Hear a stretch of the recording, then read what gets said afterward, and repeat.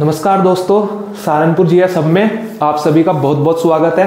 मैं आज आप सबके सामने लेकर आया हूँ मध्यकालीन भारत की जो हमारी वीडियो की सीरीज़ चल रही है, उसमें हमारी नेक्स्ट क्लास ठीक है? इससे पहले हमने पढ़ा था बलबन और उसके उत्तराधिकारी के बारे में। उसको कंप्लीट करने के बाद आपके याद होगा, हमारा मामलुक वंश खत्म हो गया था और मैंने बोला था कि अब अगली वीडियो हमारी खिलजी वंश को लेके होगी। तो आज का जो हमारा टॉपिक ही है खिलजी वंश। ठीक है? तो पहले हम खिलजी वंश का आज बेसिक इंट्रोडक्शन ले लेते हैं, फिर कहानी के रूप में इसको आगे बढ़ाएँगे, ठीक है? तो खिलजी वंश में इसका जो टाइम पीरियड है, वो है 1290 से लेके 1320 के बीच, ठीक है? 1290 से 1320 आपको पता ही था कि जला फिरोज खिलजी ने कई उम्र से जो उसका बलबन के जो उत्तराधिकारी की बात की थी, उसमें जो लास्ट राजा था, उसकी हत्या करके खुद राजा बना था 1290 में। तो यही खिलजी वंश की स्थापना करता है। और ये 1290 से 1320 तक लगभग 30 वर्षों तक इनका शासन रहता है। कितने वर्षों तक? 30 वर्ष तक, ठीक है? लगभग 30 वर्ष तक शासन रहता है। तो हम बेसिक इंट्रोडक्शन से इसकी स्टार्टिंग करते हैं। कैसे कैसे खिलजी वंश आगे बढ़ता है, ठीक है? पहले हम देखते हैं इसका संस्थापक कौन था, ठीक है? किसका खिलजी वंश का संस्थापक कौन था? ठीक है, ये जो खिलजी वंश है, इसका संस्थापक था जो हमारा उधर की साइड जो पहला ही राजा लिखा है ना एक एक करके पढ़ेंगे इनको। जलालुद्दीन खिलजी जो है, इसका पहला संस्थापक था, ठीक है? जलालुद्दीन खिलजी इसका संस्थापक था, किसका? खिलजी वंश का। इतना क्लियर है? अब देखते हैं, ये खिलजी है क्या? एक इतिहासकार है, ठीक है? पहले खिलजी के बारे में थोड़ा सा बेसिक इंट्रोडक्शन ले लेते हैं। एक इतिहासकार है, जिसके बारे में हम पहले भी चर्चा कर चुके हैं, आर पी त्रिपाठी। ठीक है? इसने खिलजियों के बारे में कथन कहा था कि दिल्ली सल्तनत में मामलुक वंश को हटा करके खिलजी वंश को आने को इसने खिलजी क्रांति की संज्ञा दी थी। किसकी संज्ञा दी थी? खिलजी क्रांति की। यानी कि इसका मानना था कि एक खिलजी क्रांति हुई है। अब क्यों कहा था खिलजी क्रांति? इसके लिए हमें थोड़ा सा एक बैकग्राउंड में जाना पड़ेगा। मैंने आपको एक चीज़ बताई थी, एक वर्ग होता है, कुलीन वर्ग, ठीक है? एक उच्च कुलीन वर्ग होता है, एक निम्न वर्ग होता है, ठीक है? ऐसे समझ लो जैसे एक अपर कास्ट होती है, एक लोअर कास्ट होती है। उस करके समझते हैं। देखो, इससे पहले किसका राज था यहाँ पे? मामलूक वंश का, जिसे गुलाम वंश भी कहते हैं, मामलूक वंश। मामलूक वंश में अगर हम कुतुबुद्दीन ऐबक को छोड़ दे, वो ऐबक जाति से था, बाकी सभी लग सारे के सारे इलबरी जाति के थे। तो इनकी जाति क्या थी? इलबरी जाति। अब यहाँ से समझना इस चीज़ को। जो इलबरी जाति थी, ये उच्च थे मतलब हायर क्लास थे। ठीक है? अब शासन किन का आया है? खिलजी वंश का। अब शासन आया है खिलजी वंश का। ठीक है? अब देखो, ये खिलजी वंश क्या होते हैं? ये जो खिलजी वंश है खिलजी ही इनकी जाति है, अपनी जाति पे इनका वंश है, ठीक है? खिलजी, जो इनकी जो जाति है ना क्या खिलजी, ये होते हैं निम्न वर्ग। ठीक है, जैसे ये उच्च वर्ग है ना, ये निम्न वर्ग था, ठीक है? ये था निम्न वर्ग। ये जो निम्न जाति के थे, ठीक है? ये चीज़ क्लियर हो गई? एक उच्च जाति से है तो दूसरा ये है, ये उच्च जाति, ये उच्च जाति से थे मामलोक वंश और ये जो खिलजी वंश है, ये निम्न जाति से थे। इतना क्लियर हो गया? तो इतिहासकार आर पी त्रिपाठी ने इसी चीज़ को मुद्दा बना के बोला था कि शासन में उच्च वर्ग की जगह, निम्न वर्ग के आने को इन्होंने खिलजी क्रांति की संज्ञा दी थी। क्लियर इतना? अब समझ में आया खिलजी क्रांति को कहा था कि भाई अब लोअर कास्ट के लोग भी शासक बन रहे हैं, ठीक है? अब इस खिलजी वंश में लगभग तीस वर्षों तक टोटल पाँच राजाओं ने राज किया था। आपको पता होगा, मैंने जब आपका मामलुक वंश पढ़ाया था, उसके भी मैंने पहले सारे के सारे राजाओं का एक, जितने भी शासक रहे थे, कुतुबुद्दीन ऐबक से लेकर लास्ट तक का पूरी एक लिस्ट बनाई थी कि पहले दूसरा कौन आया था एक क्रम में, जिससे आपको क्रम में याद रख, भी रखना आसान हो जाए कि इसके बाद कौन आया।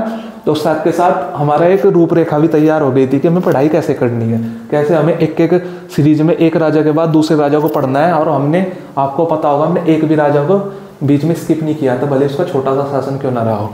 तो ऐसे ही मैंने इसमें बताया है कितने शासक। इसमें तीस वर्षों तक कुल पाँच शासक रहे थे। तो सेम ऐसे ही हम पूरे इतिहास को पढ़ेंगे, एक एक करके पाँच शासक इसमें टोटल रहे थे, ठीक है? इसमें one two three four five five के नाम लिख दिए मैंने, और ऐसे फिर हम एक एक को पकड़ के पढ़ेंगे पूरे पाँच के पाँच तक, ठीक है? पहला शासक था जलालुद्दीन खिलजी। इसका टाइम रहा था बारह सौ नब्बे से छियानवे, देखो नब्बे में स्थापना हुई है। छियानवे रहा था छः वर्ष के लिए। ठीक है यही इसका संस्थापक था यही संस्थापक है, ठीक है? जिसने, ये वही है, जिसने उसका लाश उत्तराधिकारी कौन था कैकोबाबाद को नदी में फेंक दिया था। ध्यान है, मैंने बताया था? उसके बाद जो इसका लड़का कैयूमर स्थाल पोयस्त उसका शासक बनाया और कुछ महीनों बाद उसको भी खत्म करके खुद दिल्ली वंश का सुल्तान बन गया था। ये वही है। इसकी मृत्यु के बाद आता है अलाउद्दीन खिलजी। अभी मैं सिर्फ़ यहाँ पे नाम बता रहा हूँ, ज़्यादा डिटेल्स नहीं। डिटेल्स जब हम जलालुद्दीन खिलजी को पढ़ेंगे इसकी डिटेल पढ़ेंगे, इसको पढ़ेंगे अलाउद्दीन खिलजी को तो उसकी पूरी डिटेल पढ़ेंगे। अभी सिर्फ़ एक इंट्रोडक्शन है आज ये, ठीक है? तो जला, अलाउद्दीन खिलजी आया, इसका टाइम था 1290 से सॉरी बारह से 1316 ये लगभग लगभग 20 वर्ष तक रहा था, और सबसे महत्वपूर्ण भी पूरे खिलजी वंश में शासक अलाउद्दीन खिलजी रहा है, ठीक है? फिर इसके बाद आया था सिहाबुद्दीन उमर, अलाउद्दीन की मृत्यु के बाद। ये 1316 कुछ महीनों तक ही रहा था। जैसे आपने मामलुक वंश में भी देखा था ना कि कुछ महीनों तक ही रहे थे। ये भी ऐसे ही था। फिर इसके बाद आता है मुबारक शाह खिलजी। ये 1316 से 20 तक, ये लगभग लगभग चार वर्ष रहा। फिर अंतिम था खुसरो शाह। ठीक है, ये खुसरो शाह रहा था 1320 मतलब ये भी कुछ महीनों तक ही रहा था। इसको हटा के फिर तुगलक वंश की स्थापना हो जाती है। तो हमें इन पाँच के पाँच के बारे में ही पढ़ना है, जिसमें हम सारा का सारा ये चीज़ें पढ़ चुके हैं। अब आज हमारा जो रहेगा basic introduction plus Jalaluddin Khilji. तो एक एक करते हैं। हमने बेसिक इंट्रोडक्शन में आपको बताई दिया खिलजी क्या है, निम्न जाति है कि वो खिलजी क्रांति कहा गया है। यहाँ तक हुआ क्लियर? अब हम थोड़ा सा देखते हैं जो ये खिलजी हैं, ये जो खिलजी जाति, ये बने हैं, ये खिलजी जाति कौन है, कहाँ से आए हैं, कैसे हैं? ठीक है, जैसे मामलुक वंश के बारे में वो आया था बात ये खिलजी तो एकदम से आ गए ना निकल के इसके बारे में हमने पहले कभी पढ़ा नहीं। उसमें तो हमने पढ़ा भी था कि कुतुबुद्दीन ऐबक मोहम्मद गोरी का गुलाम था। तो इसको भी थोड़ा सा देख लेते हैं कि ये खिलजी है कौन। तो हमारा है टॉपिक खिलजी। ऐसे में लगा देता हूँ ये क्वेश्चन मार्क जिससे क्लियर हो जाए कि खिलजी कौन है। क्लियर तो देखो, मैं आपको एक चीज़ बताता हूँ। अफ़गानिस्तान देश है, इसके बारे में हम बात कर चुके हैं, पता ही आपको। ठीक है?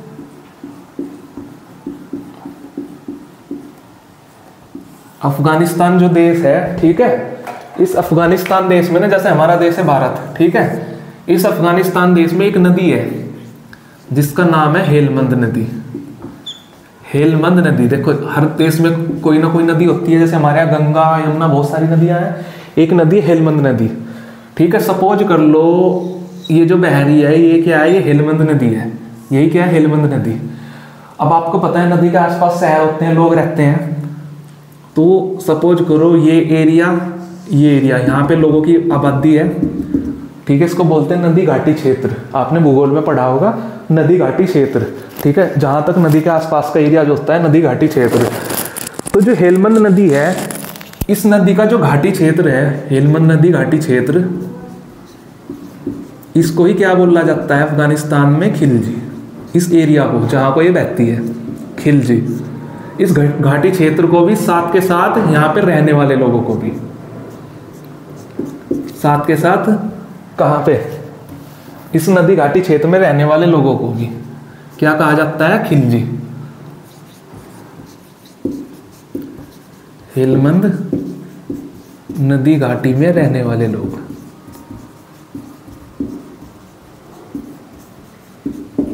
रहने वाले लोग। क्लियर देखो, एक इस नदी घाटी क्षेत्र का नाम भी क्या है? खिलजी, और यहाँ पे जो रह रहे हैं खिलजी बोल दिया जाता है।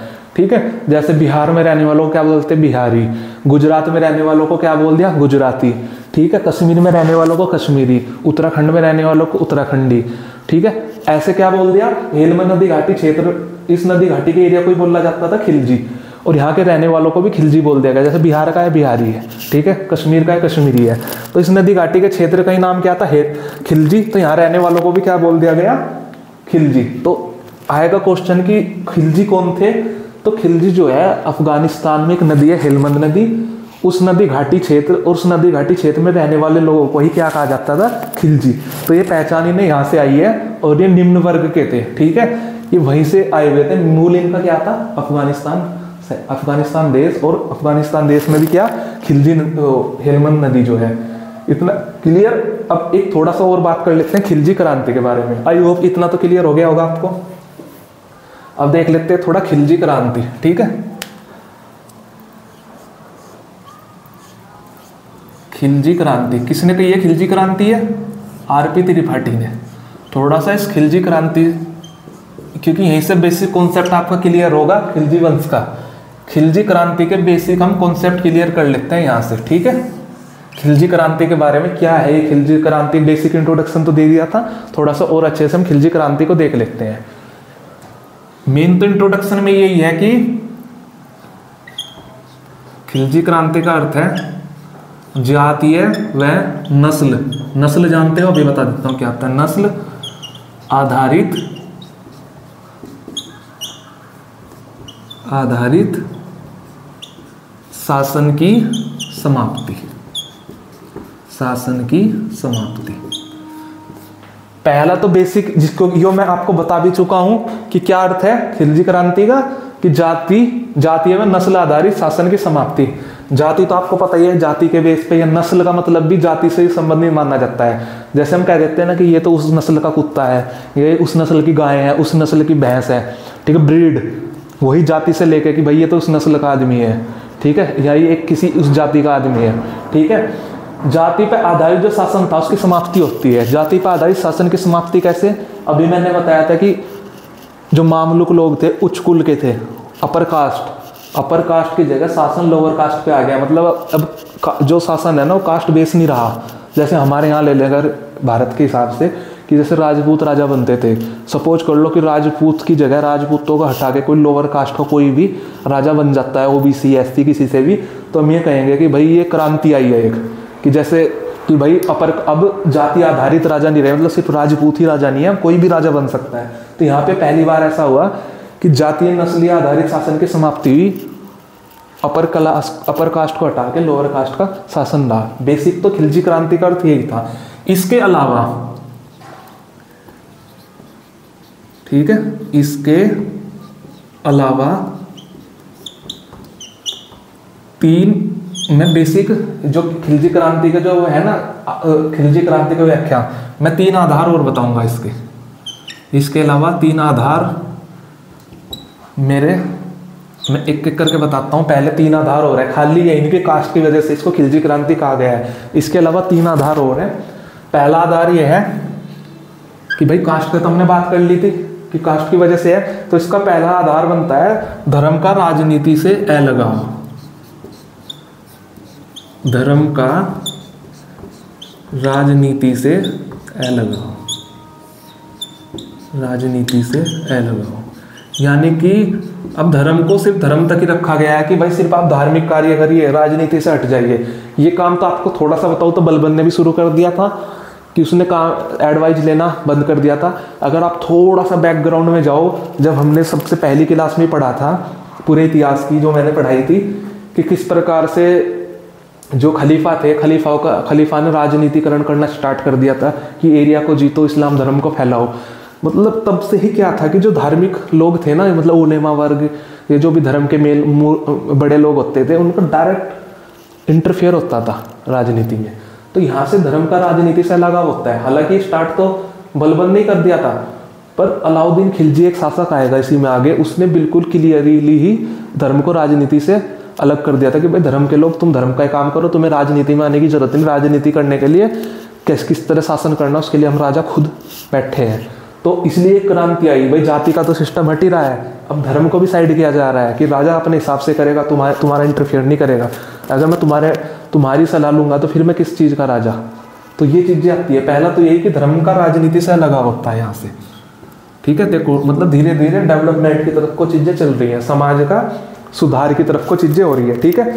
दूसरा क्या होता है? सबसे इंपॉर्टेंट प्रतिभा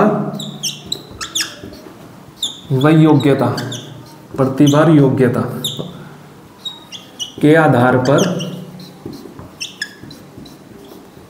के आधार पर अधिकारियों का चयन।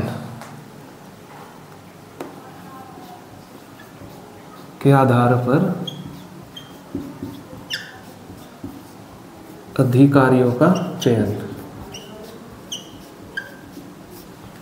इसका मतलब क्या है कि पहले जो अधिकारी नियुक्त किए जाते थे ना, वो किए जाते थे कि भाई अपने परिवार से ही कि भाई किसी ने अपने बेटे को बना दिया, अधिकारी अपने उन्हें अलग अलग लोगों को, अपनी परिवार में से लोगों को अलग अलग पोस्ट दे दी बड़ी बड़ी पोस्टें दे दी कि भाई तू स्टेट को देख ले, या तू ये अधिकारी बन जा, तू सेनापति बन जा।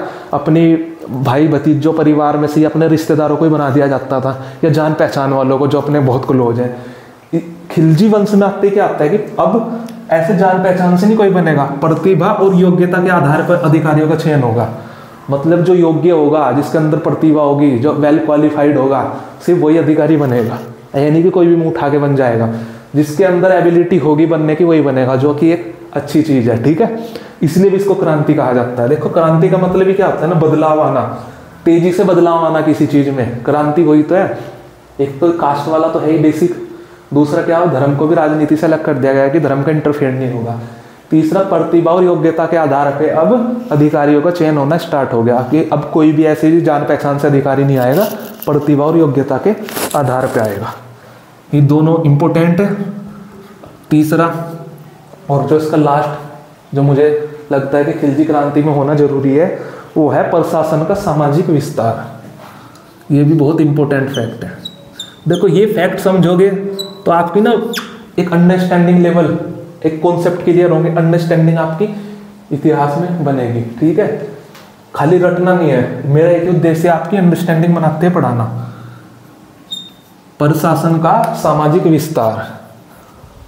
अब घबराने की ज़रूरत नहीं है कि भाई ये क्या बोला है? एक एक चीज़ करके समझाता हूँ इसको भी मैं। प्रशासन का सामाजिक विस्तार।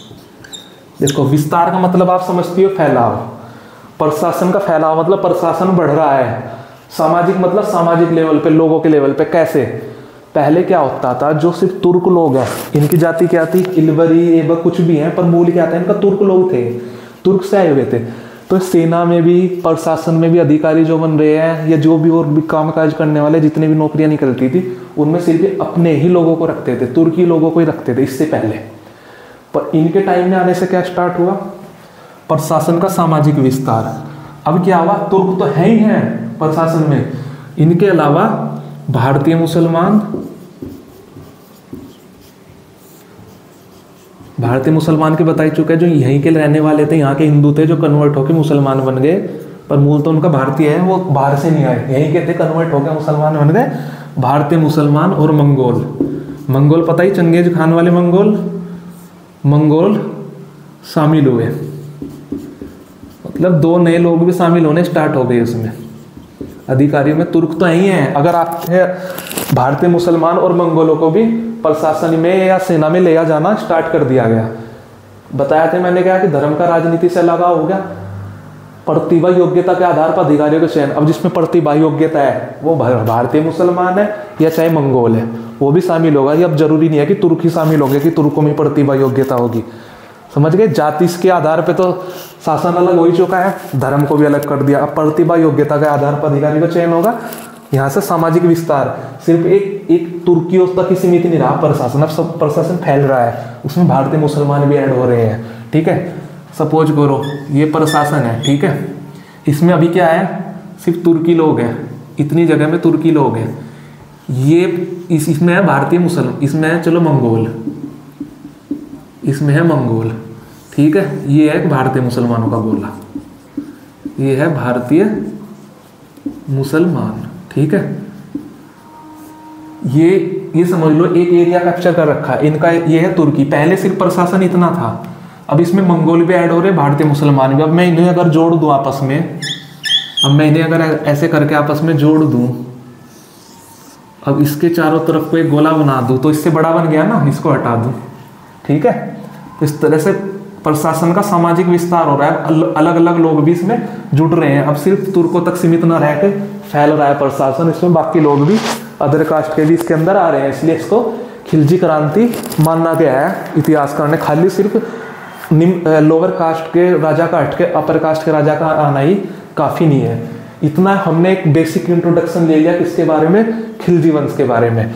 अब हम आगे चलते हैं, जो हमारा पहला शासक है, इसमें इसका संस्थापक जलालुद्दीन खिलजी। आज की इस क्लास में हम जलालुद्दीन खिलजी को कंप्लीट कर लेंगे, उसके बाद फिर हम धीरे धीरे हर बार की तरह आगे चलते हैं। तो अब हम चलते हैं अपने नेक्स्ट टॉपिक पे स्टार्ट करते हैं जलालुद्दीन खिलजी से।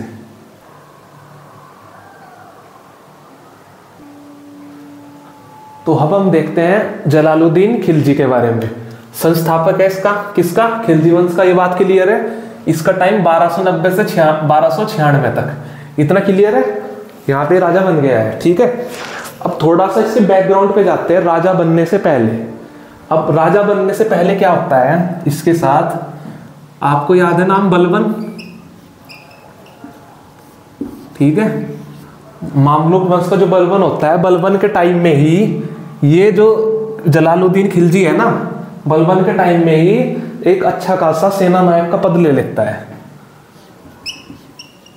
दिल्ली सल्तनत में इसकी एंट्री हो जाती है सेना नायक के रूप में। बलबन के समय एक सेना नायक का इसे पद मिल चुका था। सेना नायक का पद मिल चुका था। किसको? किसकी बात कर रहे हैं हम? जलालुद्दीन खिलजी की। इतना समझ रहे होंगे आप। अब धीरे धीरे ये जैसे बलबन भी तो एक नॉर्मल तुर्क के चहलगामी चालीसा दल का सदस्य बन के ही तो स्ट्रॉन्ग बना था ये जो जलालुद्दीन खिलजी है सेना नायक के पद पे आ जाता है एक आपको पता है बलबन के बाद शासक आया था कैकूबाबाद कैकूबाद जो बीमार था जब हमने बलबन के उत्तराधिकारी पढ़े थे ना कैकुबाबाद के टाइम पे ये टॉप पे पहुँच जाता है जलालुद्दीन मतलब अच्छा खासी पावर पोजीशन में आ जाता है। ये जो कैकूबाबाद है ना, इसको दो उपाध्याय देता है। एक तो ये वाली और एक ये वाली, ठीक है? ये दो उपाध्याय कैकुबाबाद के द्वारा दी जाती है इसको, ठीक है? जब कैकुबाबाद शासक था, पहली सरे जानदार की उपाधि, सरे जानदार के बारे में हम पहली बात कर चुके हैं। सरे जानदार का मतलब होता है अंगरक्षक। तो इसने अंगरक्षक, अब इसे अपना अंगरक्षक बना रखा था किसको? जलालुद्दीन खिलजी को। दूसरी कैकोबाद ने से उपाधि दी थी साइस्ता खान की। अब साइस्ता खान नया वर्ड है। साइस्ता खान का मतलब होता है सभ्य। कि सभ्य, ठीक है कि बहुत सभ्य था मतलब अच्छा खासा सभ्य उसका था। सभ्य का मतलब आप समझते होंगे, जिसका व्यवहार समाज में अच्छा होता है, उसको सभ्य बोला जाता है। अब क्यों सभ्य था? वो हम धीरे धीरे आगे इसकी पॉलिसी पढ़ेंगे, तब समझ में आ जाएगा क्यों सभ्य था। ये दो उपाध्यक्ष दी गई थी किसके द्वारा? कैकुबाबाद के, ठीक है? तो कैकुबाबाद को नदी में फेंक के, कैकुबाबाद के लड़के कैमर्स को शासक बनाता है, यही जलालुद्दीन खिलजी। और यही फिर इसकी कैमर्स की भी हत्या करके खुद शासक बन जाता है। अब इनका तो खत्म हो गया कि ये बेसिक इंट्रोडक्शन हो गया कि बलबन के समय में सेना नायक के पद पे आया, कैकुबाबाद के टाइम पे टॉप पे आ चुका था मामला इसका, ठीक है? अब देखो क्या होता है। इसका पूरा नाम देखते हैं, पहले क्या है? जलालुद्दीन खिलजी है पता है हमें तो यहाँ पे। इसका पूरा नाम है जलालुद्दीन फिरोज खिलजी। ठीक है? फिरोज खिलजी। जब मैंने आपको पढ़ाया था, मैंने फिरोज खिलजी के नाम से बताया था आपको कि फिरोज खिलजी ने किया था। अब इसका पूरा नाम है जलालुद्दीन फिरोज खिलजी। अब मैं बताता हूँ क्या जब तक ये राजा नहीं बना था, इसका नाम सिर्फ़ इतना था, फिरोज खिलजी। ठीक है? जब ये शासक बनता है, अपनी लास्ट वाली उपाधि लेता है, इसको तीन कर देते हैं। ये दो है, इसको तीन कर देते हैं। जब ये शासक बनता है, तब ये जलालुद्दीन को उपाधि लेता है। तब इसका पूरा नाम क्या हो जाता है राजा बनने के बाद? जलालुद्दीन फिरोज खिलजी। ठीक है? क्लियर ये पूरा नाम आ जाता है इसका, जलालुद्दीन फिरोज खिलजी, शासक बनने के बाद। इसके लिए, इसकी तीन उपाधियाँ याद रखना है, सरे जानदार और साइस्ता खान। ये किसने दी थी? कैकुबाद ने। जलालुद्दीन इसने कब ली थी? शासक बनने के बाद। इसलिए इसका पूरा नाम क्या होता है? जलालुद्दीन फिरोज खिलजी। इतना क्लियर होगी चीज़ें? कि अब ये राजा बन चुका है। ठीक है? यहाँ तक बात आ जाती है। अब इसके राजा बनने के क्रम में एक चीज़ आती है। जब ये 1290 में राजा बनता है, ये क्या करता है? आपको पता ही है कि इसने कैमर्स की हत्या कर दी थी। हत्या करने के बाद राजा बना था ये। तो इसको जनता का जनता का भी डर था कि यार मैं किस आने वाले छोटे से बच्चे की हत्या करके राजा बन रहा हूँ। कहीं पब्लिक मुझे सपोर्ट ना करे, मेरे खिलाफ विद्रोह ना कर दे। तो ये क्या करता है? एक जगह है दिल्ली के पास। दिल्ली के पास, आजकल तो जो वर्तमान का दिल्ली है ना, वर्तमान का दिल्ली शहर है, उसी के अंदर में आती है अब तो क्योंकि दिल्ली बहुत बड़ा हो चुका है। उस टाइम का दिल्ली का मतलब मेहरौली का एरिया क्योंकि इनके सारा वो सारा मेहरौली के आसपास था। उसके पास ही दिल्ली के पास एक जगह है, किलखोरी। क्या नाम है जगह का? किल खोरी अब तो दिल्ली में ही आ चुकी है वो जगह। किल खोरी इस जगह पे कैकुबाबाद का किला था। कैकुबाद ने किला बनाया था यहाँ पे एक। वही कैकुबाद जिसके बारे में हम बात कर चुके हैं बलबन का बेट उत्तराधिकारी था, ठीक है? कैकुबाद का किला। कैकुबाद ने अपने राजा बना था, जब वो उस टाइम में यहाँ पे किला बनाया था, किलखोरी में कैकुबाद का एक किला है, ठीक है? अब मेन याद रखने की चीज़ क्या ज़रूरी है? इसने जलालुद्दीन खिलजी ने दिल्ली की जनता के डर से डायरेक्ट दिल्ली नहीं आया है दिल्ली का मतलब महरौली का एरिया दिल्ली के पास ही किलखोरी है ये। किलखोरी में क्या है? कैकुबाद का किला है। इस किलखोरी में अपना ये राज्यभिषेक करवाता है। राज्यभिषेक कराता है। दिल्ली नहीं जाता है डर से लोगों के भाई कहीं मेरा बहिष्कार ना कर देवे, ठीक है? इतना भी डर था इसको। और इस किलखोरी को ये अपनी याद रखने की चीज़ है, अपनी राजधानी बनाता है। किसे राजधानी बनाता है? किलखोरी को। देखो, कितनी चीज़ें याद हुई इसकी? इसका राज्य अभिषेक कहाँ होता है? नंबर एक, किलखोरी में। किलखोरी में क्या है? कैकुबाबाद का किला है। तीसरा यहीं पे ही राजधानी बनाता है सही फिर अपनी। शासक बन गया। शासक बनने के टाइम इसकी उम्र सत्तर वर्ष थी। ये फैक्ट याद रखना। सत्तर वर्ष की आयु में मतलब अच्छा खासा वृद्ध हो चुका था ये। सत्तर वर्ष की आयु में शासक बनता है शासक बना। ठीक है? इतना क्लियर हो गया कि सत्तर वर्ष की आयु में ये शासक बन रहा है। यहाँ तक चीज़ें क्लियर है? ये बेसिक इन्फॉर्मेशन थी इसके बारे में। ठीक है? अब हम जाते हैं इस टॉपिक के बाद शासक ही बन चुका है। ये क्लियर हो गया आपका? अब हम देखते हैं इसकी पॉलिसी क्या आ रही शासक बनने के बाद। इसकी पॉलिसी क्या है? आपको पता है, जब बलबन बलबन के उत्तराधिकारी तो बहुत ही कमज़ोर थे, मात्र चार साल में मामला खत्म हो गया। मेन लास्ट बलबन बचा था। बलबन ने एक नीति चलाई थी रक्त और लोह की। कौन सी नीति चलाई थी? रक्त व लोह की।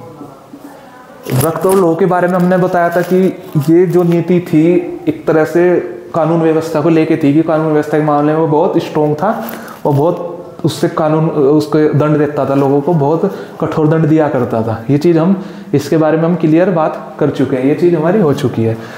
तो जलालुद्दीन क्या करता है? इसकी नीति, पहले देखते हैं इसका आदर्श क्या था। फिर उसकी नीति देखते हैं कि क्या पॉलिसी रहेगी। इसकी बलबन के ऑपोजिट पॉलिसी पर आता है। आपको एक चीज़ याद रखना शाइस्ता खान की उपाधि दी थी इसको। साइस्ता खान का मतलब होता है सभ्य अब समझ आएगा आपको कि इसको सभ्य क्यों कहा गया? क्यों ये साइस्ता खान की उपाधि दी थी? देखो, शासक भी तो सत्तर वर्ष की उम्र में मन रहा है, कोई जवान तो बन नहीं गया। मतलब इसका सत्तर वर्ष तक की आयु तक ही इसका नेचर ऐसा था कि सभ्य था, इसलिए से शाइस्ता खाने की उपाधि दी गई थी और वो इसके आगे की पॉलिसी में दिखाई देगा। इसका आदर्श था उदार निरंकुशतावाद। ये बहुत इंपॉर्टेंट है, उदार निरंकुशतावाद। उदार का मतलब आपको पता ही होता है क्या है लिबरल ठीक है?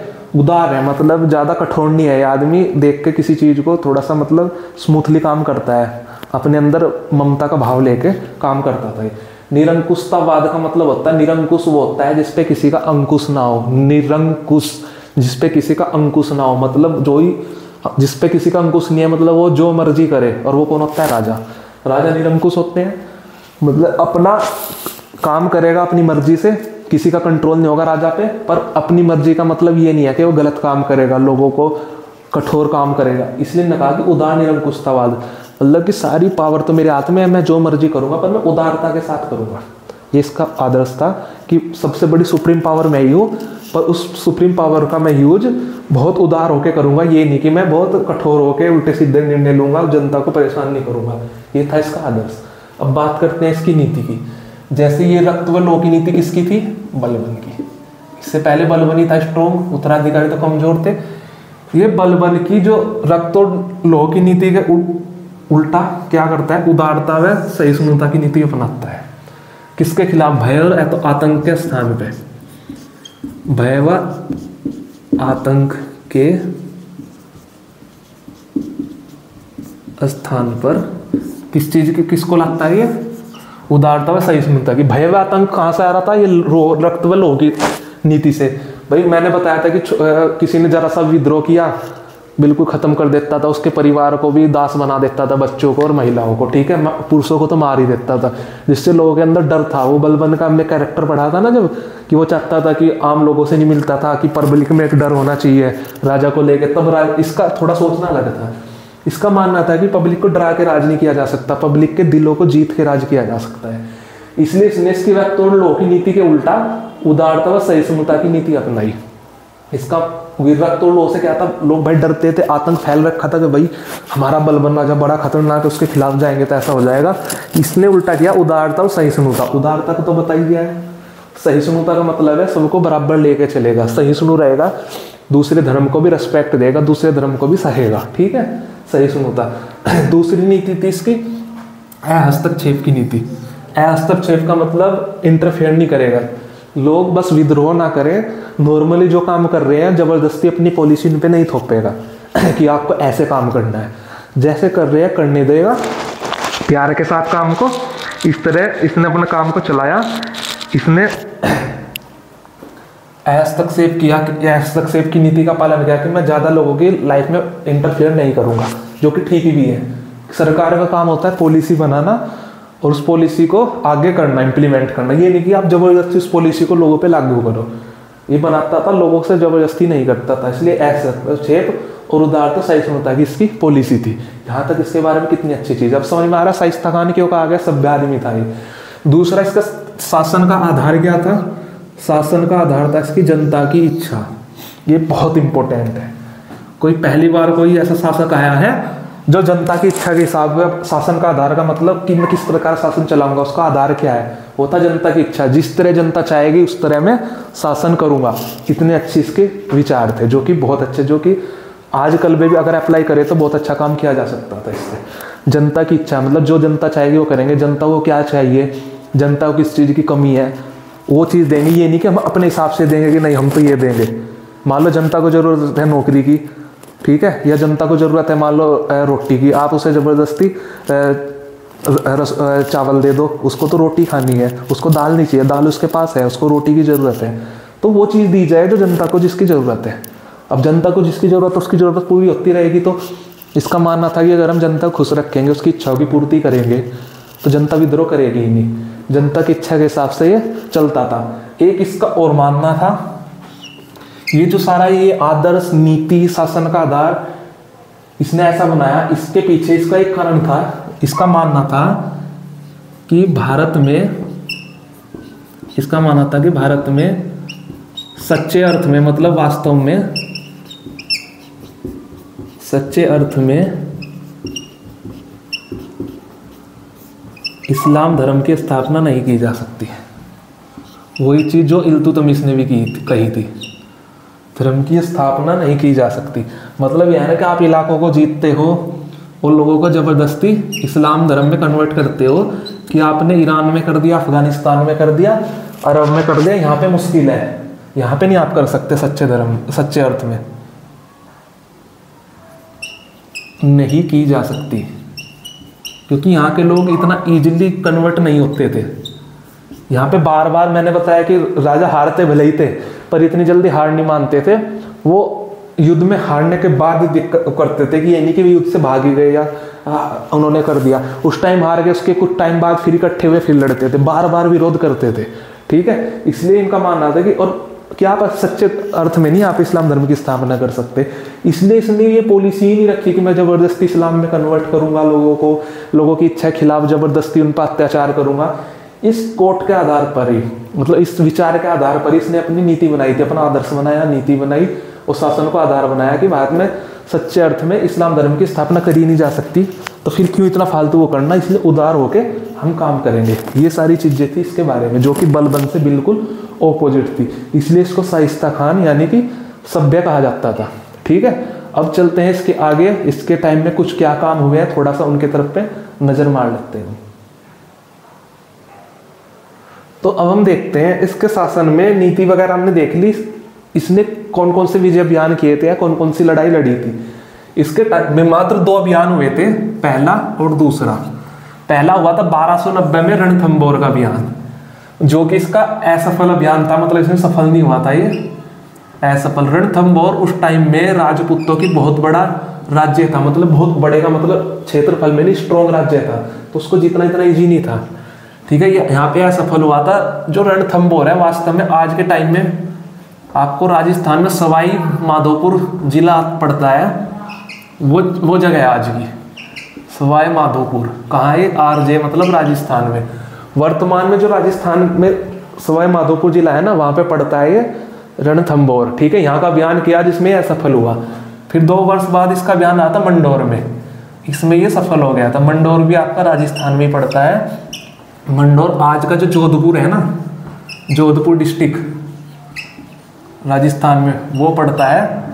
उस टाइम पे मंडोर था इसका नाम। तो ये इसका सफल होता है आकर अभियान। सिर्फ़ दो ही अभियान होते हैं, ज़्यादा नहीं है इसके बारे में।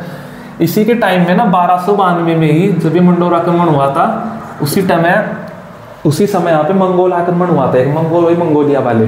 पर अब चंगेज खान नहीं आएगा, क्योंकि चंगेज खान का टाइम जा चुका है। ठीक है? पर है तो मंगोल चंगेज खान के बाद कोई और आक्रमण करेंगे। तो ये जो आक्रमण हुआ था हुआ था ये, पहली बात तो याद रखो कि ये आक्रमण भी असफल था। पहले देखो किसके नेतृत्व में हुआ था। अब्दुल्ला के क्वेश्चन आता है कि किसके नेतृत्व में मंगोल आक्रमण हुआ था जलालुद्दीन खिलजी के टाइम पे। अब्दुल्ला के नेतृत्व में हुआ था मतलब इनका नेता कौन था? अब्दुल्ला किनका मंगोलों का। मंगोलों का नेता था अब्दुल्ला और रिज़ल्ट क्या रहा था? असफल आक्रमण था। असफल। मतलब मंगोल इसमें असफल हुए थे।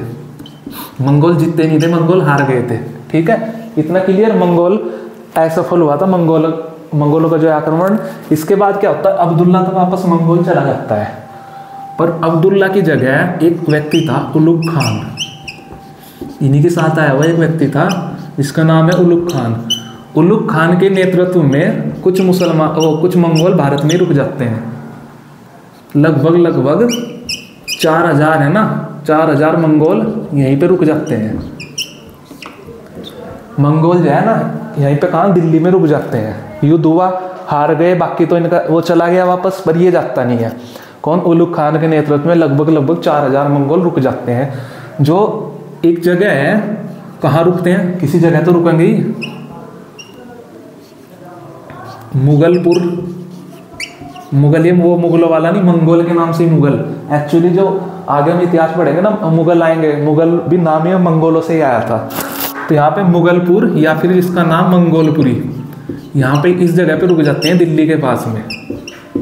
मंगोलपुरी में ये जो चार हज़ार मंगोल हैं, में रुक जाते हैं। रुक जाते हैं। ये दिल्ली के पास है वर्तमान में दिल्ली में आ चुका है। दिल्ली में आपने देखा होगा, नहीं भी पता होगा, सर्च कर लेना, मैप में मंगोलपुरी मेट्रो स्टेशन भी पड़ता है। मंगोलपुरी जगह है, एक दिल्ली में, अब तो दिल्ली पूरा शहर बड़ा हो चुका है, उसके अंडर में आ चुका है। उस टाइम ही महरौली के पास था। आप सर्च करना महरौली, जहाँ कुतुब मीनार है। कुतुब मीनार से मुगल मंगोलपुरी की डिस्टेंस देखना, कितने किलोमीटर निकल के आएगी। उससे आप आइडिया लगा लोगे कि उस टाइम का जो दिल्ली था, वो कहीं ना कहीं महरौली के आसपास का एरिया था। तो दिल्ली के पास ये रुक गए थे, जिस जगह को इनके नाम पे ही मुगलपुर, फिर मुगलपुर से बिगड़ता हुआ वो मंगोलपुरी में मतलब नाम है बिगड़ता चला जाता है ना, भाषा बिगड़ती बिगड़ती मुगलपुर, फिर मुगलपुर से नाम बिगड़ के या बदल के टाइम के साथ मंगोलपुरी हो गया, जो आज का मंगोलपुरी जाना जाता है। तो किसके नेतृत्व तो वहाँ पे जो रुके थे वो मंगोल रुके थे चार हज़ार के करीब, ठीक है? जब ये रुक गए, इन, इन्हें एक नया नाम दिया गया, नव मुसलमान। नव मुसलमान। ये बहुत इंपॉर्टेंट है टर्म याद रखना है कि जो, एक तो यही क्वेश्चन बन सकता है कि किसके नेतृत्व में मंगोल आक्रमण हुआ था? वो हुआ था अब्दुल्ला के नेतृत्व में ठीक है? और फिर बाकी चले गए थे किसके नेतृत्व में? कुछ मंगोल भारत रुक गए थे वे थे उलूक खान के। और फिर यही बाद में क्या कहला इनका नाम पड़ गया नव मुसलमान। नव मुसलमान नए आए हैं ये। फिर इन्होंने भी इस्लाम कन, में कन्वर्ट हो गए जब यहीं रहना था तो इन्हें नव मुसलमान कहा गया कि नए मुसलमान है। अब आगे जब हम अलाउद्दीन खिलजी पढ़ेंगे अलाउद्दीन खिलजी के समय कुछ विद्रोह होते हैं चार पाँच उनमें नव मुसलमानों का विद्रोह भी आएगा। इसलिए यहाँ से याद रखना, ये नाम नव मुसलमान विद्रोह कौन थे ये मंगोल थे। आपको ऐसे लिंक हो जानी चाहिए चीज़ें। ठीक है? ये क्लियर हो गया कि ये नव मुसलमान हुए। एक चीज़ और आती है अब इसमें, यही जो उलूक खान है, ये तो नव मुसलमान इस उलूक खान से जलालुद्दीन है ना जो? यही शासक, जलालुद्दीन खिलजी। खिलजी की पुत्री का विवाह होता है।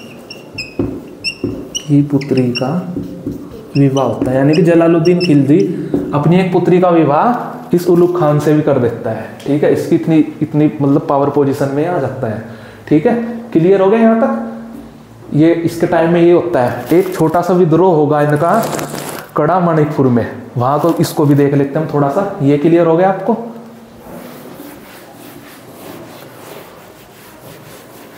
यहीं पे लिख लेता हूँ। एक विद्रोह हुआ था बारह सौ इक्यानवे में। बारह सौ इक्यानवे में एक विद्रोह हुआ था कड़ा मणिकपुर में। कहा हुआ था? कड़ा मणिकपुर में। एक जगह है कड़ा मणिकपुर। कड़ा मणिकपुर आज के टाइम में जो प्रयागराज है ना, इलाहाबाद कहते से उत्तर प्रदेश में, प्रयागराज। ये जो प्रयागराज का एरिया यही उस टाइम क्या कहा जाता था? कड़ा मणिकपुर। ठीक है? यहाँ का एक इकतेदार था इकतेदार बता ही रखा है मैंने उस एरिया का। सबसे बड़ा अधिकारी। जो इकतेदार था, उसका नाम था मलिक छज्जू। छज्जू। पहले जहाँ इसका नाम था मलिक छज्जू, यहाँ का इकतेदार, ये था कौन? ये था बलबन वही बलबन जो मामलुक वंश का था बलबन का भतीजा।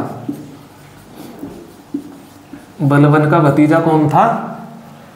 ये, भाई बलबन ही तो मर गया है। अब ये थोड़ी उसके सारे परिवार को खत्म करेगा इसका भतीजा था मलिक छज्जू। ये कड़ा मणिकपुर यानी कि प्रयागराज का इकतेदार था। ये इस टाइम पे क्या कर देता है? ये विद्रोह कर देता है। किसके खिलाफ? जलालुद्दीन खिलजी के खिलाफ। विद्रोह कर देता है। भाई, विद्रोह हुआ है। उदार है। पर इसका मतलब ये तो नहीं कि विद्रोह। इसने कह रखा था कि आप विद्रोह मत करना, बस बाकी सब करो, जो चाहोगे मैं आपके हिसाब से काम करूँगा। पर ये विद्रोह कर देता है लालच में आगे ये भी सोचता है कि इलाहाबाद तो बहुत दूर है, मैं तो विद्रोह कर देता हूँ। इंडिपेंडेंट रहूँगा वही लालच। तो जलालुद्दीन खिलजी अलाउद्दीन खिलजी याद है ना? तो अलाउद्दीन खिलजी को भेजता है। किसको भेजता है? अलाउद्दीन खिलजी को भेजता है ये विद्रोह दबाने के लिए। अब एक बात सिद्ध से ये जान लो, अलाउद्दीन खिलजी जो है, जलालुद्दीन का भतीजा भी था और दामाद भी था। भतीजा व दामाद। इनके यहाँ पे हो जाता है ऐसे कि मतलब चाचा ताऊ में शादियाँ हो जाती है। मैं उस चीज़ पे नहीं जा रहा क्यों हो जाती है? भतीजा था अलाउद्दीन खिलजी मतलब जलालुद्दीन खिलजी के भाई का लड़का था। जलालुद्दीन खिलजी ने ही अलाउद्दीन का पालन पोषण किया था। वो चीज़ हम अलाउद्दीन के बारे में पढ़ेंगे जब, तब करेंगे डिटेल में। अब ये जान लो कि अलाउद्दीन का भतीजा भी था और अपनी लड़की का विवाह भी कर रखा था। इसमें मतलब भतीजा ही दामाद भी था। मतलब ताऊ चाचा के भाई बहन थे ये, उनमें शादी हो रखी थी। इनके यहाँ पे जो हो जाती है। तो ये अलाउद्दीन खिलजी को भेजता है कि भाई तू जा और इस विद्रोह को रोक, दबा के आ। ठीक है? तो अलाउद्दीन खिलजी जाता कहाँ है? मलिक छज्जू के पास। तो इनके बीच लड़ाई होती है। मलिक छज्जू वर्सेज अलाउद्दीन खिलजी। अलाउद्दीन खिलजी, आपको पता ही है कितना खतरनाक था। नहीं भी पता है तो इससे समझ लो कि जो आगे राजा बनेगा, यानी कि स्ट्रॉन्ग तो होगा। इसमें मलिक छज्जू जाता है, हार अलाउद्दीन खिलजी जीत जाता है। तो मलिक छज्जू को अरेस्ट कर लिया जाता है, गिरफ़्तार कर लिया जाता है। तो फिर जो जलालुद्दीन खिलजी है, अलाउद्दीन खिलजी को इस कड़ा मणिकपुर का इकतेदार बना देता है कि भाई उसने तो विद्रोह कर दिया, उसको हटाओ, अब मैं तुझे बना देता हूँ यहाँ का इकतेदार, क्योंकि तू मेरी फैमिली से भी है और मुझे तेरे पे विश्वास है। तो यहाँ पे हो जाता है, अलाउद्दीन मलिक इकतदार बन जाता है कड़ा मणिकपुर का। तो ये कड़ा मणिकपुर में रहना स्टार्ट कर देता है। इसके बाद अब देखते हैं भी क्या घटनाक्रम घटित होता है, ठीक है? तो एक चीज़ और बता देता हूँ मैं। हाँ चलो यहीं से करते हैं, बाद में बता दूँगा। अलाउद्दीन खिलजी है, कड़ा मणिकपुर का इकतेदार बन गया है, मलिक छज्जू को पराजित करके। तो एक बार क्या होता है, यही अलाउद्दीन खिलजी। कौन? मैं शोर्ट में लिख रहा हूँ, अलाउद्दीन खिलजी, ठीक है? पहले कहानी बता देता हूँ, क्या आती है, फिर उसको नोट्स की फॉर्म में थोड़ा सा क्लियर कर दूँगा। ये अलाउद्दीन खिलजी कड़ा मणिकपुर से ही दक्षिण की तरफ़ जाता है। दक्षिण भारत की तरफ़ जाता है और दक्षिण भारत में एक जगह है मतलब उस समय की जिसे कहा जाता था देवगिरी। एक शहर, एक राज्य का नाम था देवगिरी। देवगिरी पहुँचता है, ठीक है, जिसे वर्तमान में कहा जाता है औरंगाबाद, जिसकी आज पहचान है औरंगाबाद पड़ता है महाराष्ट्र में। औरंगाबाद महाराष्ट्र एम एच से महाराष्ट्र। वर्तमान में औरंगाबाद उस टाइम देवगिरी कहा जाता था यहाँ इसे। इस देवगिरी में क्या था? राय वंश का ना यानी सॉरी या, यादव वंश का एक राजा था जिसका नाम था राजा रा, रा, रामचंद्र राय ठीक है? क्या था? देवगिरी का कोई राजा होगा ठीक है? देवगिरी का राजा था कौन? यादव वंश का भाई उसका वंश भी होगा कुछ। यादव वंश का रामचंद्र राय इसका नाम था। तो ये क्या करता है? जल अलाउद्दीन खिलजी अभी अलाउद्दीन खिलजी राजा नहीं बना है? कड़ा मणिपुर का इकतेदार है जलालुद्दीन खिलजी राजा है। जलालुद्दीन खिलजी के राजा होते ही दक्षिण में जाता है और देवगिरी पर अटैक कर देता है। देवगिरी पे अटैक कर देता है। कौन? अलाउद्दीन खिलजी। और यहाँ के राजा कौन थे? या, यादव वंश के रामचंद्र राय। ये रामचंद्र राय को रामचंद्र राय हो जाता है पराजित। किससे? अलाउद्दीन खिलजी से। तो रामचंद्र राय को हराता है और उसके बदले में कहता है अलाउद्दीन खिलजी को बहुत सारा, यहाँ से देवगिरी से बहुत सारा पैसा प्राप्त मिलता है। सोना, चांदी और धन काफ़ी मात्रा में मिलता है, जिसे लेके फिर राजा रामचंद्र राय को छोड़ देता है कि चलो तुम राज कर लो, मुझे धन संपत्ति दे दो, तुम्हारे पास जितनी भी है। तो लेके फिर ये वापस कड़ा मणिकपुर में आ जाता है। इतनी कहानी समझ में आई, फिर बताता हूँ आगे होता है क्या है। तो इसको थोड़ा सा समझ लेते हैं, क्या है? देवगिरी का राजा कौन है? रामचंद्र राय, ठीक है? ये याद रहेगा? किस वंश से है ये? यादव वंश से। तो लड़ाई होती है किस किस के बीच? रामचंद्र राय वर्सेज अलाउद्दीन खिलजी। अलाउद्दीन खिलजी शॉर्ट में लिख रहा हूँ मैं। अलाउद्दीन खिलजी, ठीक है? अलाउद्दीन खिलजी, इसलिए बार बार बोल भी रहा हूँ जिससे आपको क्लियर होता रहे। एक साइड है रामचंद्र राय कहाँ का देवगिरी का, ये इकता से वहाँ पे गया, वो इकता कह रहा हूँ कड़ा मणिकपुर से। दक्षिण में जाता है अलाउद्दीन खिलजी वर्सेज, रामचंद्र राय। इसमें क्या होता है अलाउद्दीन खिलजी जीत जाता है और रामचंद्र राय हार जाता है। तो फिर हारने वाला अलाउद्दीन खिलजी रामचंद्र राय से डील करता है कि भाई मुझे खूब सारा धन संपत्ति दो, सोना, चांदी, जो भी तुम्हारे पास है तो मैं आपको तुम्हारा राज्य वापस दे दूँगा। तो रामचंद्र राय सोचते हैं, भाई राज्य तो मिल रहा है, धन संपत्ति, सोना, चांदी तो फिर इकट्ठा कर लूँगा मैं, ज़िंदा रहूँगा तो। या राज्य मेरे पास रहेगा तो तो ये मान जाता है। तो अलाउद्दीन खिलजी सारा पैसा ले करके वापस आ जाता है। यहाँ से चल देता है फिर वापस। कहाँ पे? वापस कड़ा मणिकपुर में आ जाता है। कड़ा मणिकपुर, जहाँ का ये इकतेदार था। कितना क्लियर है? यहाँ पे ये वापस आ जाता है। इस कहानी में पहला फैक्ट तो आपके पास ये है। देखो, ये कहानी जो बताई है, कुछ इसका इम्पोर्टेंट इम्पोर्टेंस होगा तभी तो बताइए इसका पहला तो फैक्ट आता है ये कि अलाउद्दीन खिलजी, यहीं पे कर दिया मैंने, अलाउद्दीन खिलजी पहला व्यक्ति था दिल्ली सल्तनत का। पहला व्यक्ति था, ब्रैकेट में लिख रहा हूँ, दिल्ली सल्तनत का। जो विंध्या पर्वत पार कर कर, विंध्या पर्वत पता ही आपको? विंध्या पर्वत उत्तर भारत और दक्षिण भारत को अलग अलग पार्ट में डिवाइड करता है, आपने भूगोल में पढ़ा होगा। विंध्या पर्वत पार करके पार कर के दक्षिण में अभियान करता है। पार करके दक्षिण में अभियान कर रहा है। पार करके दक्षिण में अभियान करता है। दक्षिण में अभियान करता है। फैक्ट यही है, समझ में आ गया आपको? देखो इसके बाद बहुत सारे शासक गए दक्षिण में अभियान करने, दक्षिण भारत को भी जीतने। पर अभी तक हमने जितना पढ़ाया ना, उसमें दिल्ली सल्तनत का पहला व्यक्ति था। अभी शासक भी नहीं है शासक भी कह लो या पहला व्यक्ति भी कह लो, क्योंकि शासक बनने के बाद भी दक्षिण का अभियान करेगा। तो पहला व्यक्ति था। देखो क्वेश्चन क्या आएँगे? दिल्ली सल्तनत का पहला व्यक्ति कौन था जिसने विंध्या पर्वत पार करके दक्षिण का अभियान किया? पहला क्वेश्चन कौन था? अलाउद्दीन खिलजी। दूसरा क्वेश्चन किसके विरुद्ध हुआ था यह अभियान? रामचंद्र राय के विरुद्ध। दो, रामचंद्र राय किस वंश का था? यादव वंश का। चौथा क्वेश्चन ये जो दक्षिण में जो अभियान किया था, किस जगह किया था? देवगिरी में। पांचवा क्वेश्चन देवगिरी की वर्तमान पहचान क्या है? औरंगाबाद, महाराष्ट्र में। पाँच क्वेश्चन यही से बन रहे हैं डायरेक्ट कि पहला दक्षिण भारत का अभियान करने वाला व्यक्ति कौन था? दिल्ली सल्तनत का पहला बाद के कितने गए हो? अलाउद्दीन खिलजी। इसने दक्षिण भारत में किस राज्य के विरुद्ध अभियान किया था? रामचंद्र राय के। रामचंद्र राय किस वंश का था? यादव वंश का। और कहाँ का राजा था? देवगिरी का। देवगिरी की वर्तमान पहचान क्या है? औरंगाबाद, महाराष्ट्र। एक फैक्ट से ही पाँच क्वेश्चन आपके रेडी हो रहे हैं कि क्वेश्चन घुमा, फिरा के कैसे ही पूछ ले, आपके, आपका जो क्राइटेरिया बन गया ना नॉलेज है, आपकी नॉलेज से बाहर ही नहीं जाएगा, आपको से छूटेगा ही नहीं। तो एक से पाँच क्वेश्चन क्लियर यहाँ पे क्लियर अब कहानी को बढ़ाते हैं थोड़ा सा आगे। मैंने बताया खूब धन संपत्ति लेकर सोना चांदी लेकर कहाँ आ गया अलाउद्दीन खिलजी वापस? कड़ा मणिपुर जलालुद्दीन कहाँ बैठा है? दिल्ली में। जलालुद्दीन को जब पता चलता है कि भाई मेरा भतीजा और दामाद अलाउद्दीन खिलजी ऐसे ऐसे दक्षिण में गया है, पहली बार कोई दक्षिण में गया है, और वहाँ से बहुत सारा धन संपत्ति लेके आया है। तो जलालुद्दीन खिलजी पहले सोचते हैं कि ये कड़ा में क्यों गया है? भाई राजा कौन है? जलालुद्दीन खिलजी। तरीका ये था कि सारी संपत्ति जीतने के बाद धन संपत्ति लेके इसको दिल्ली जाना चाहिए था राजा के पास। कि देखो भाई, राजा, मैं ये जीत के लाया क्योंकि अधिकार तो राजा का होता है ना, कि ये जीत के लाया हूँ, अब मुझे देना चाहिए। पर ये इकता में क्यों हो गया? मतलब अपने कड़ा मणिकपुर में क्यों हो गया? मेरे पास क्यों नहीं आया? जलालुद्दीन को थोड़ा ये अजीब लगती है बात कि मेरे पास क्यों नहीं आया?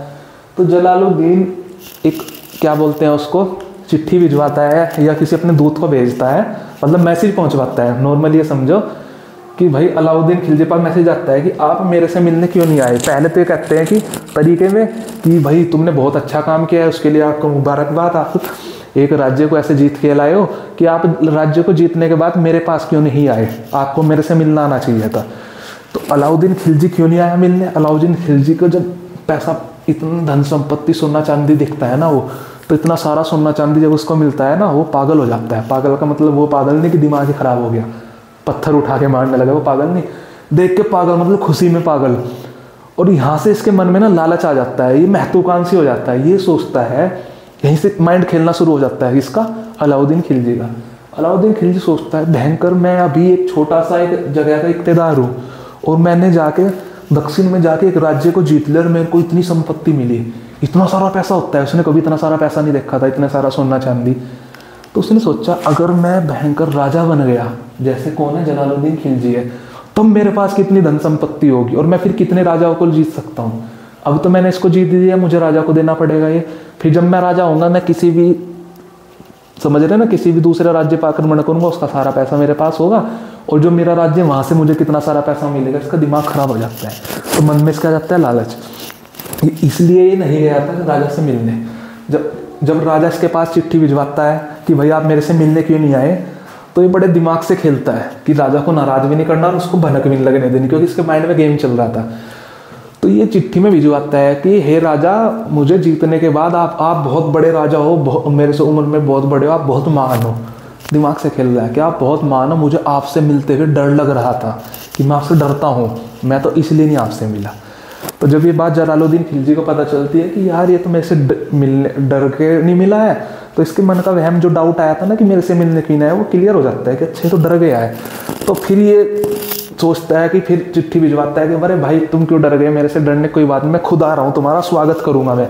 मैं तो तुमसे खुश था कि तुमने इतना बड़ा काम किया है। तो जलालुद्दीन खिलजी को इन्हें माइंड गेम में ले लिया अपने। ठीक है साइकोलॉजी चेंज कर दी कि मैं तो आपसे डरा हुआ हूँ, इसलिए नहीं आ रहा। तो ये बेधड़क हो गए। इसका प्लान नहीं समझ पाता है। तो बेधड़क होकर जलालुद्दीन खिलजी मिलने जाता है कहाँ? कड़ा मणिकपुर में। किससे? अलाउद्दीन खिलजी से। अलाउद्दीन खिलजी के दिमाग में तो कुछ और ही चल रहा था, लालच आ चुका था राजा बनने का। तो जैसे ही अलाउद्दीन खिलजी इससे मिलता है, अलाउद्दीन खिलजी से जलालुद्दीन खिलजी मिलता है कहाँ? कड़ा मणिकपुर में।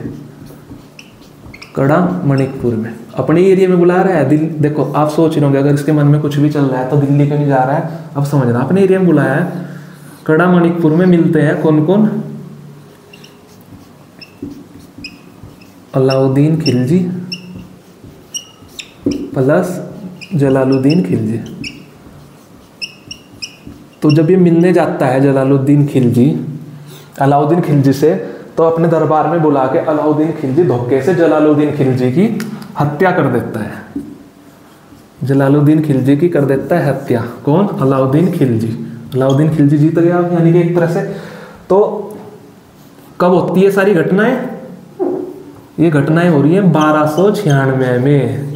क्या पढ़ा था? बारह सौ छियानवे तक इसका शासन है। इसकी हत्या करके अलाउद्दीन खिलजी जुलाई बारह में ही अपने आप को राजा घोषित कर देता है कि अब मैं हूँ राजा।